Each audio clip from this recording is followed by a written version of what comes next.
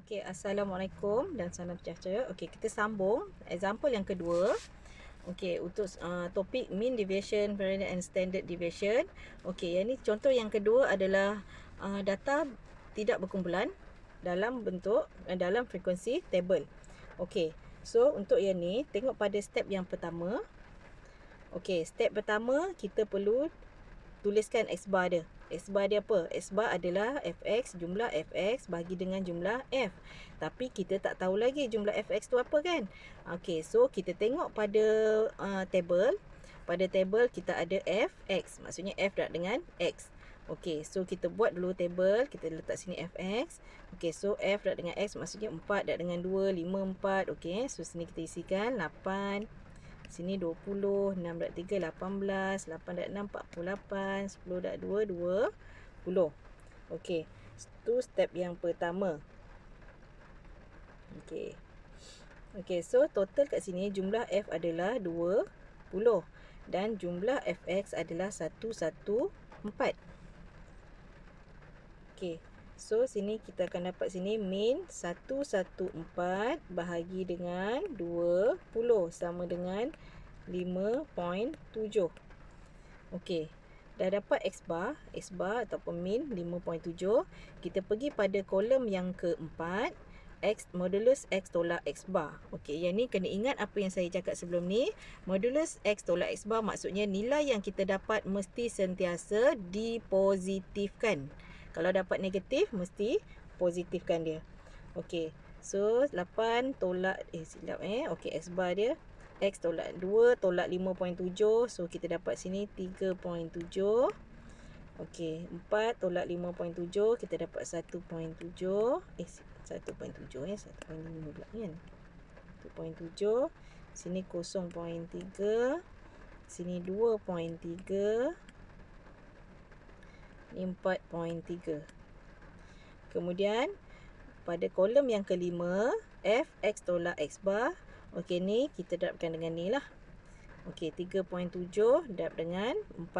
Okey so kita dapat sini uh, 14 tolong uh, nanti buat sana ni awak cuba buat lagi sekali eh 14.8 kemudian 8.5 sini 0.9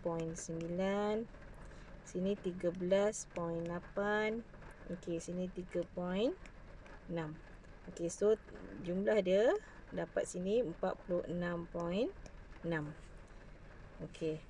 Next, pada kolom yang ke-6, X tolak X bar kuasa 2. Okey, so daripada sini kita kuasa 2 kan lah. Okey. So, sini dapat 13.69. 2.89 0.09 5.29 18.49 Okey Last kali F X tolak X bar kuasa 2 F ni kita darabkan dengan Yang ni Okey Kolom yang kedua Darab dengan kolom yang ke 6 Okey Ni kolom 2 darab dengan kolom 6 eh. Kolom 2F darab dengan kolom yang ke-6. Okey, so sini dapat 54.76 14.46 0.27 Kemudian 31.74 36.98 Okey, so kita jumlahkan sini dapat 139 138.2. Okey, dah settle semua jadual ni. Barulah kita masukkan dalam formula. Okey. Kita tengok pada step yang ke step seterusnya, step yang ketiga eh. Okey, kita masukkan dalam formula. So, yang ni tadi jadual ni daripada yang kita dah buat tadi. Okey, so formula dia f x tolak f bar sum f x tolak x bar. Okey, so ni lah.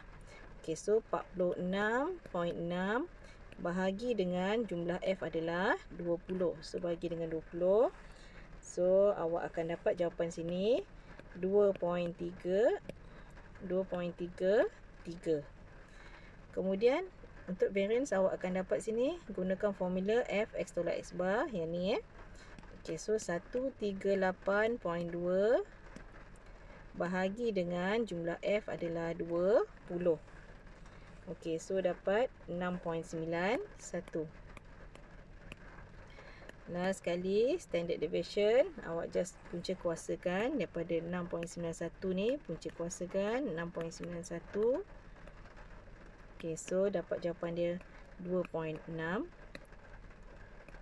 2. Okay, so habis untuk example yang kedua. Untuk ungroup data bagi uh, dalam dalam frekuensi table. Okay. Terima kasih.